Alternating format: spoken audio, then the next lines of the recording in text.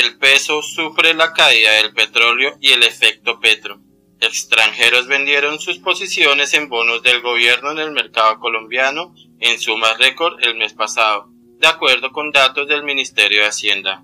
Columna Isabela Cota para el diario El País, México, 10 de marzo de 2023. Han sido unos meses duros para el peso colombiano, moneda que se ha depreciado 24% en relación al dólar en los últimos 12 meses por factores tanto internos como externos. La caída en el precio del crudo mercados internacionales ha sido una fuerza en contra, ya que más del 50% de las exportaciones del país sudamericano son del petróleo.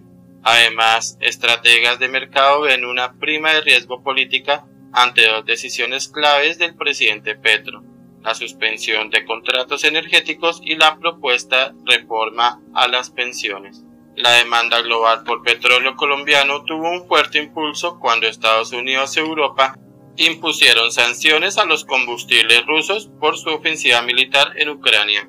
Eso subió de manera momentánea los precios, dijo Benito Elber, economista jefe para América Latina del banco suizo Natixis hay un efecto que sí le ha pegado de manera negativa en la medida en que se ha venido moderando el precio del petróleo.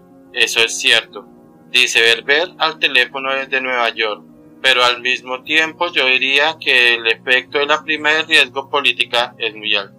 De acuerdo con datos del Ministerio de Hacienda, fondos extranjeros vendieron sus títulos de tesorería del gobierno en niveles récord el mes pasado y a pesar de que las tasas de interés en el país han subido en el último año. Berber aseguró que la depreciación de la moneda colombiana inició a mediados del año pasado, cuando el presidente Petro se posicionó como líder en las encuestas en la segunda ronda electoral que eventualmente ganó. Hoy, los inversores que le ofrecieron el beneficio de la duda al presidente se lo están quitando, opinó Berber. Una discusión sobre la posible cancelación de contratos de exploración y explotación de petróleo futuro, así como la irritación de Petro por los miembros de su propio gabinete que se oponen a su propuesta de reforma al sistema de pensiones, han erosionado la confianza de los inversores extranjeros. Si al presidente Petro no le gusta que haya discusión sobre esa reforma, eso cambia mi perspectiva a futuro, dice Berber, porque tal vez el presidente no es tan pragmático como yo hubiera imaginado.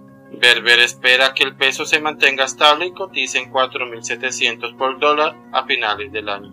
La salida de capitales registrada en febrero y la fuerte depreciación de la moneda es una especie de profecía cumplida de los opositores del presidente que ellos llaman el efecto Petro, dijo Julio César Iglesias, analista económico y consultor independiente. Aquí en Colombia es muy latente la tragedia venezolana, dijo Iglesias y el efecto Petro refiere a esa posibilidad de que la inversión extranjera se va a asustar, los locales sacarán sus plantas de Colombia, se van a parar los negocios por la incertidumbre. Este temor por parte de una parte de la población es la razón por la que se ha desatado un debate en el país sobre las causas de la depreciación de la moneda, sostuvo Iglesias. Es un debate porque desde el gobierno, desde el Ministerio de Hacienda y los sectores cercanos al gobierno, es clave mantener la narrativa de que la llegada de Petro no tiene nada que ver con la depreciación, dijo el analista. Y el peso efectivamente se ha depreciado y no va en línea con otras monedas de América Latina.